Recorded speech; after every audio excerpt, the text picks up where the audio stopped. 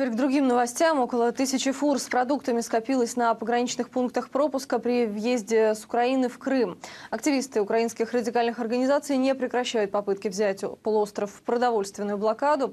Они установили на трех КПП заграждение и сейчас не пускают грузовики. Власти Крыма, однако, уверены, проблемы за этого не возникнет. Большинство товаров в магазинах уже сейчас российского производства, рассказывает Ольга Армякова.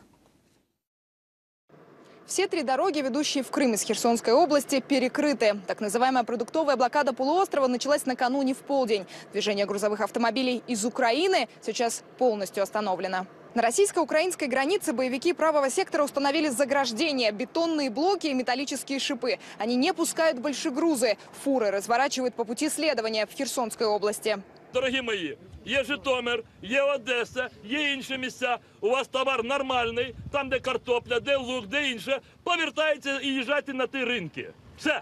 А я живу в Євпаторії. тут Все. там я був. Живете в Євпаторії? Будь ласка, дорога відкрита, без машини. Проехать машины не могут и в итоге останавливаются где-то в поле, недалеко от границы. На всех украинских пунктах пропуска в общей сложности скопилось почти 800 автомобилей. При этом движение легкового транспорта и пассажиров пока сохраняется. Можете стояти день, тиждень, місяць. Куди ви не поїдете? В интернете уже появились заявления украинских бизнесменов и предпринимателей снести грузовиками любые заграждения. Попытки прорвать баррикаду действительно были, однако ни к чему не привели. Боевики правого сектора попросту избили водителя, так и не дав ему проехать. За две недели раз вот съездил.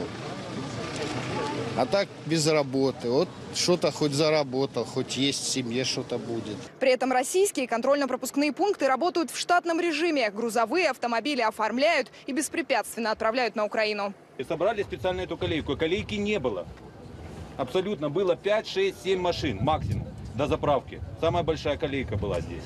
Сейчас ее собрали и не пускали нас. Мы вторые, вторые сутки стоим, пропускная способность нулевая. Украинская милиция фактически дала карт-бланш на перекрытие дороги. Сотрудники правоохранительных органов нарисовали пешеходный переход прямо перед бетонными заграждениями. Активисты, которые устроили блокаду, фактически стоят на зебре. И формально получается, что они переходят дорогу. Проезд уступают только легковым автомобилям. В акции принимают участие и бойцы батальона особого назначения «Херсон». Границы с Крымом стянули бронетехнику, а военные заняли окопы и инженерные сооружения. На сопредельной стороне имеется неизвестное вооруженное формирование в военной форме одежды без опознавательных знаков, которые э, разворачивают транспортные средства грузовые в обратном направлении, установили бетонные блоки таким образом, чтобы грузовые транспортные средства не могли проехать, соответственно, легковые могли проехать, и возвращают всех обратно. Эм, За ночное время ни одной грузовой машины на территорию России не заехала. Странная блокада Крыма со стороны Украины самому полуострову никак не повредит. Большую часть продовольствия в республику везут с материка. Керченская переправа работает как часы, соединяя два берега каждые полчаса. Никакого продуктового дефицита, а именно это, видимо, и планировали, здесь не будет. Украинских продуктов всего 5% от общего товарооборота.